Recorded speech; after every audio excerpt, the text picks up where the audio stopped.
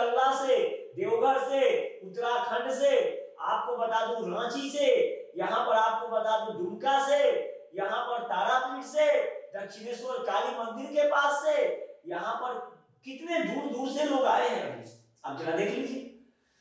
कल मुझे दिल्ली से लोगों ने फ़ोन किया। मुझे दूर दूर से लोग बता रहे हैं इस यज्ञ के बारे में, इस महायज्ञ के बारे में। लेकिन अगर आप यज्ञ में श्रद्धा नहीं रखेंगे आप महायज्ञ में पवित्रता नहीं रखेंगे, आप महायज्ञ में आस्था नहीं रखेंगे तो आप कहीं मुँह दिखाने के लायक नहीं रहेंगे। आपका यज्ञ आस्था, श्रद्धा, पवित्रता और त्याग से संपन्न होगा। आपके कर्तव्य से, आपके संकल्प से संपन्न हो जाएगा। सिर्फ़ आप अच्छाई का रास्ता पकड़े रहे, आप सच्चाई का रास्ता पकड़े रहे। आपने जो संकल्प किया है आपने जो वचन दिया है, उसको आप बिल्कुल वास्तव में सत्यता से निर्वहन करते रहिए। इससे भी बड़ा मेला लग जाएगा, इससे भी बड़ा यज्ञ हो जाएगा और आपका कल्याण हो जाएगा, आपके समाज का कल्याण हो जाएगा। कहीं किसी प्रकार की दिक्कतें और मुश्किल नहीं होंगे। ये आपको सोचना है, आपको तय करना है कि मैं कितना अच्छा कार्य कर सकता हूँ, मैं कितना अच्छा बन सकता हूँ। मैं समाज को कितना और जोड़ सकता हूँ? आप यज्ञ में दान करें, गरीबों के बारे में सोचे। अभी देखिए यहाँ पर कॉपी कलम सब बांटा गया अभी। अभी देखिए धोती बांटे गए, बहुत सारे गरीबों के बीच साड़ी बांटे गए हैं। छोटे छोटे बच्चे जो निर्धन है, उनके बीच में कलम बांटे गए हैं। पढ़ने की सामग्री, लिखने की सामग्री वितरण किए गए हैं। सभी यहाँ पर बांटे जा रहे हैं। श्री महाकाल सेवा समिति की ओर से श्री श्री आठ रुद्र महायज्ञ समिति की ओर से और श्री पंचमुख मंदिर समिति, श्री पंचमुख हनुमान जी महाराज मंदिर समिति की ओर से ये सारा चीज़ यहाँ बांटा गया। यहाँ पर आपको रुद्राक्ष की छोटे बड़े सभी प्रकार की माला बांटे गए हैं। लगातार बांटे जा रहे हैं। उसके पश्चात आपको बता दें, दिव्य कवच बांटे जा रहे हैं, सिद्ध ताबीज बांटे जा रहे हैं और आगे भी बांटे जाएँगे। तो ये किस लिए किया जा रहा है? सिर्फ़ कल्याण के लिए किया जा रहा है। यहाँ पर उतनी सारी जो कन्याएँ, जो बालिकाएँ हैं, जो आस्था, निष्ठा और पवित्रता के साथ, श्रद्धा के साथ इतने दिनों तक तप कर और यज्ञ शुरू होने के सात दिन पहले से ही उन्होंने सात्विक भोजन करना यज्ञ के अनुसार आरंभ कर दिया है। उन लोगों ने कलश उठाया। देखे कलश यात्रा में कितना भीड़ था हाँ? कितना जन सैलाब उमड़ा था। चारों तरफ़ देखने देखने जैसा दृश्य, ये दृश्य देखिए, कितना मनमोहक और कितना मनभावन दृश्य है ये। ये कलश, यात्रा आपको सात्विकता, पवित्रता और यज्ञ आरंभ होने का एक संकेत है। आप देख लीजिए, इस कलश यात्रा में सभी लोगों ने भाग लिया। यहाँ एक सिर्फ़ सिंगैले गाँव का नहीं, इसमें दूर दूर से लोग भाग लिए हैं। इसमें बिहार राज्य से बाहर के लोगों ने भी भाग लेने का कार्य किया। तो कलश यात्रा, पूजा यज्ञ, महायज्ञ, केवल सात्विकता, पवित्रता, अच्छाई, आस्था, निष्ठा, तप, त्याग और कर्तव्य और संकल्प और वचन से होता है। इसमें ढोंग पाखंड अगर करेंगे, कूटनीति करेंगे, छल करेंगे तो यज्ञ कतई सफल नहीं होगा, बल्कि यज्ञ के आड़ में अगर आप लूट खसोट करेंगे तो आपका जीवन भी असफल हो जाएगा, आप कहीं के नहीं रहेंगे। और यज्ञ अगर कोई संचालन कर रहा है, और उसको अगर आप बाधा पहुँचाने का कोशिश करेंगे, सच्चे मन से अगर, निस्वार्थ भाव से अगर यज्ञ करा रहा है तो आप कहीं के नहीं रहेंगे। समझ एक उसी दिन आपने अपने विनाश का आमंत्रण पत्र काल देवता को भेज दिया है। इसलिए ऐसा कार्य कभी ना करे। जिससे आपको क्षति उठाना पड़े या आपके समाज को क्षति उठाना पड़े। आप बड़े नहीं है, बड़ा आप भगवान है, बड़ा आपका कार्य है, बड़ा आपका नाम है। आपने देखा था भगवान श्री राम को? समुद्र में राम राम लिख करके नल नील के द्वारा क्या किया गया था? पत्थरों का पुल बनाया गया था आज की तरह कहीं पुल नहीं बनते थे उस समय। भगवान ने समुद्र से कई बार कहा कि, हे समुद्र देव, हमारे परम प्रियात्मा, हमारी जो अर्धांगिनी है, हमारी पत्नी, उसको रावण जैसा दुराचारी पापी, उसको हरण करके ले गया है। हे समुद्र देव, आप मुझे मार के समुद्र अहंकार में भगवान को मार्ग नहीं दे रहे थे। लेकिन भगवान ने समुद्र पर जब प्रहार करना चाहा तो भगवान वहाँ समुद्र से वार्ता की और समुद्र वहाँ प्रकट हो गए। उसके पश्चात भगवान ने वहाँ पर क्या किया? पत्थरों से भगवान का नाम लिख करके पुल बनाए गए और भगवान श्री राम लंका गए। और उसके बाद वहाँ पर युद्ध हुआ और युद्ध होने के बाद भगवान रावण पर विजय प्राप्त किए और अपनी परम प्रियतमा, अपनी अर्धांगनी, अपनी पत्नी, महाशक्ति महामाया सीता को वो अपने साथ फिर लेकर अयोध्या आए। तो आपसे बड़ा आपका नाम है, लेकिन नाम अच्छा होगा तब ना। अगर नाम के साथ बदनामी होगा तो आपका तो किया कराया सब मट्टी में मिल जाएँगे। इसलिए आप अच्छा कार्य करें, अपने नाम को अच्छा बनाए। ये कैसे बनेगा? अच्छे काम से होगा ना? अच्छे कर्म से होगा ना? जब अच्छा कार्य करिएगा अच्छा अच्छा इतिहास रचने वाला, सामाजिक कार्य करिएगा, कल्याणकारी कार्य कीजिएगा, तभी ना नाम होगा। नाम तो बहुत तरह का लोग कमाते हैं। अब कुछ लोग पाकिट काट के भी नाम कमा लेते हैं। कुछ लोग डाका डाल के डलवा के भी नाम कमा लेते हैं। और कुछ लोग हत्या लूट, गंदे काम करा करके भी नाम कमा लेते हैं। लेकिन वो नाम आप नहीं कमा रहे वो आप बदनाम हो रहे हैं, आप कहीं के नहीं रहेंगे। आपका जीवन नरकों में चला गया, आप बर्बाद हो गए। हर एक कुछ दिनों का जीवन है आपका। मानव जीवन गलत कार्य करके आप इसको असफलता की ओर क्यों ले जा रहे हैं? इससे आपको क्या मिलेगा? कुछ नहीं मिलने जा रहा। इसलिए अगर आप अच्छा बनना चाहते हैं, सच्चा बनना चाहते हैं तो यही आपके जीवन को निखार लाएगा और आपका कार्य ही, आपका कर्म ही आपके संस्कार को दर्शाता है। वो थानों में है ना?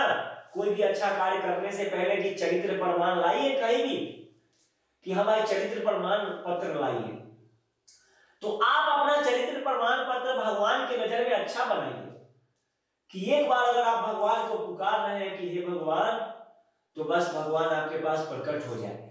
अगर एक बार आप दुख से द्रवित हो गए हैं, रो रहे हैं तो आपके रोने से ही प्रलय मचने लगे। अगर आप खुश है तो पूरा प्रकृति खुशी से जगमग जगमग चारों तरफ़ सुहाना वातावरण बन जाए। ऐसा मानिए आप। लेकिन आप ऐसा ना बनिए कि आप कह रहे हैं कि हे भगवान, ये काम तो भगवान कर रहे हैं वो काम आपको भगवान के नियम अनुसार चलना होगा। भगवान आपके बनाए हुए नियम अनुसार नहीं चलेंगे। आपको भगवान का जो नियम बनाया हुआ है, उसके अनुसार ही सारा कार्य करना पड़ेगा। आप भगवान से बड़े नहीं है, भगवान आपसे बड़े हैं। भगवान ने इस संसार को बनाया है, आपने संसार को नहीं बनाया है, हमने संसार को नहीं बनाया है। संसार को भगवान ने बनाया है, इसलिए हम सभी भगवान को जाने, भगवान को समझे। भगवान के नाना प्रकार के नाम है, नाना प्रकार की भगवान की लीलाएँ हैं, उन लीलाओं से समझे, सीखे, तभी जीवन सफल होगा और कोई भी कार्य आपका सफलता पूर्वक संपन्न हो जाएगा। अब देखिए, बहुत सारे गाँव भी ऐसे होते हैं टोले मोहल्ले ऐसे होते हैं, जहाँ पर दो तीन लोग होंगे, जो भाई भाई को लड़ा देगा बाप बेटा को लड़ा देगा, और बीच में जो है अपना उल्लू सीधा करने के चक्कर में उसकी ज़मीन पर गिद्ध दृष्टि जमाए रखेगा। किसी किसी व्यक्ति को तो देखते हैं, किसी की कन्या पर भी गिद्ध दृष्टि जमाए रखते हैं। ऐसा भी होता है। तो इस तरह की पापाचार का नियति ना रखे, नियत ना रखे अपने मन में। अन्यथा इसका अंजाम तो आपको भुगतना पड़ सकता है। और भुगतते भी हैं। क्या दशा होता है? आप जरा देखिए। अगर अच्छा कार्य करेंगे तो आपको सम्मान मिलेगा। अगर आप गलत कार्य करेंगे तो आपको अपमान मिलेगा। आप कहीं के नहीं रहेंगे। कोई नहीं पूछेगा आपको, फिर आप इस संसार में कलंकित हो जाएँगे। जीने के योग्य नहीं रहेंगे। आपके माता पिता का भी नाम बदनाम हो जाएगा। आपके गाँव समाज का भी नाम, आपके गलत कार्य से बदनाम हो जाएँगे। इसलिए अच्छा कार्य करिए। अब देखिए, आपने देखा होगा बहुत सारे बच्चे आईएएस आईपीएस बन जाते हैं और बन भी रहे हैं और बहुत सारे बच्चे तैयारी कर रहे हैं। तो उनके नाम से, देखो ना, ये राजू फलाने गाँव का है, ये डीएम बन गए हैं। ये प्रमोद फलाने गाँव के एसपी बन गए हैं। ये रंजन फलाने गाँव के डीएसपी बन गए हैं। ये भविष्य फलाने गाँव के हैं। ये देखिए आईजी बन गए हैं। तो इससे किसका नाम हुआ? आपके नाम के साथ आपके माता पिता का नाम, आपके गाँव का नाम, आपके जिला का और आपके राज्य का नाम भी सम्मान से सम्मानित हो गया। लेकिन अगर चोरी में पकड़े गए, डाका में पकड़े गए, छेड़खानी में पकड़े गए पागंडवानी में पकड़े गए, ठगी में पकड़े गए, देखो फलाने का बेटा है। ये फलाने गाँव का है। ये फलाने जिला का है, फलाने राज्य का है। अब बताइए, भाई आपको तो कानून पहले नहीं छोड़ेगा, कानून आप पर बहुत कार्रवाई कर देगा। उसके बाद ईश्वर भी आपको नहीं छोड़ेंगे, क्योंकि आपके कर्मी का फल तो मिलना है। आपने देखा होगा, इस संसार में जो जैसा करता है, वैसा भोगता है। आपके गाँव के आसपास में भी तरह तरह की घटनाएँ घटते रहते हैं। कभी कभी आप देखते हैं कि आप किसी से अभी तुरंत बात करके आए और तुरंत पता चलता है कि उसकी मृत्यु हो गई। कभी कभी आप देखते हैं कि कोई व्यक्ति रास्ते से गुजर रहा, आप उसका हाल चाल लिए और पता चलता है कि जा उसका तो एक्सीडेंट हो गया, अभी पाँच मिनट में लाश चला गया पोस्टमार्टम के लिए। कभी कभी आप देखते हैं कि आप जिसके साथ हंस के, बोल के, गा के आए हैं, कुछ ही देर के बाद उसके प्राण पखेरु उड़ गए और उसकी अब मृत्यु हो चुकी है। अब वो आपके बीच नहीं रहे कभी कभी आप देखते हैं, आप जिसके साथ भोजन ग्रहण करके आए हैं और पता चलता है कि अब वो मर गए। कभी कभी आप आपको पता चलता है कि भाई अभी मैं ट्रेनों में सफ़र करके आया हूँ, एरोप्लेन में सफ़र करके आया हूँ, अभी मैं फलाने जगह घूम के आया हूँ, उसके साथ और पता चलता है कि अब वो इस दुनिया में नहीं रहा। तो ये सब किसके हाथ में है? ये सब कैसे हो रहा है? जब जीवन मृत्यु आपके हाथ में नहीं है, जब विधि विधान आपके हाथ में नहीं है तो आप मालिक और बलवान कैसे हो सकते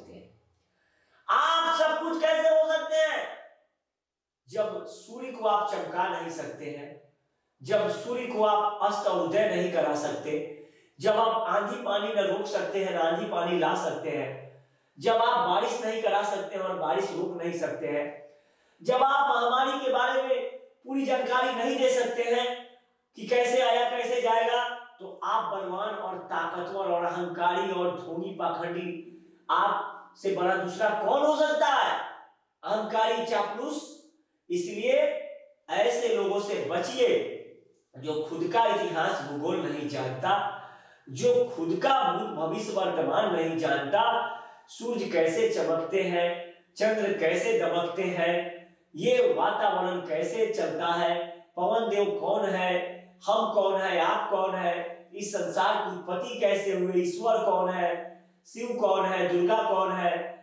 आप यज्ञ क्या क्यों कर रहे हैं? इस यज्ञ का महत्व तो क्या है? ये आचार्य कौन है, वो कौन है? तो कुछ आप जानते नहीं है, आपको खुद के बारे में ज्ञान नहीं है, और लगे आप अज्ञानी होकर के भी ज्ञान का व्याख्यान करें, उस ज्ञान का जो ज्ञान है ही नहीं। ज्ञान क्या है? पहले इसकी जानकारी आप लीजिए। आप ज्ञानी है या ज्ञानी है, पहले इसके बारे में आप जानकारी प्राप्त कर लीजिए। तभी आप चार कदम आगे बढ़ पाइएगा अन्यथा चार कदम आगे बढ़ने के चक्कर में आप आठ कदम पीछे खिंचा लिए जाइएगा और कहीं मुँह दिखाने के लायक नहीं रहिएगा। कभी कभी अच्छे कार्य का अगर आप बैठक करेंगे तो आपके पास कोई नहीं बैठेगा। कुछ लोग दो तीन लोग सड़क पर टहलेंगे और वहीं से आपको, आपका निंदा करेंगे। चापलूसी करेंगे। अगर आप कहेंगे कि भाई आप सड़क पर ही रह जाओगे तो आप पर वो गिद्ध दृष्टि की तरफ़ ताकेंगे। ऐसा देखेंगे कि जैसे वो आपको भस्म कर देना चाहते हैं। भस्मासुर खुद के करने के कारण ही भस्म हो गए। माँ ने उसे बड़ा बनना चाहा था। वरदान भी प्राप्त किया उन्हीं से, और उन्हीं को आँख दिखाने लगा था। भस्म हो गया। लोग भी हैं तो अगर इस प्रकार की अगर बैठक आप कर रहे हैं, अगर आप कोई अच्छा सुझाव किसी को दे रहे हैं, अगर आप कहीं पर कोई अच्छा कार्य करने चले हैं तो आपको, आपके पास नहीं आएँगे, दूर से ही आप पर वो तलवार भी जाएँगे। श्री महाकाल जी अनंत दीपक जी महाराज और मंदिर कमेटी और यज्ञ कमेटी और तमाम भक्तगणों के सहयोग से सिंगेला, मोतीपुर, मुजफ्फरपुर, बिहार में संसार कल्याण में श्री श्री 1008 रुद्र महायज्ञ और कल्याणकारी अमृतमय दिव्या प्रवचन का आयोजन होगा, जिसका प्रसारण आप लाइव तेज चैनल पर सुबह देख पाएँगे। आप संपर्क कर सकते हैं nine nine three four eight one one seven five five nine four seven one two zero four seven nine four पर लाइव तेज चैनल पर यह कार्यक्रम आप देखकर लाभ ले सकते हैं।